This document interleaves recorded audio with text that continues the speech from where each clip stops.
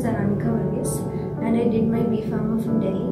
I came to know about Clini India through my friend and I had a great experience being here. The faculties uh, were so good and supportive and all the credit goes to Clini India.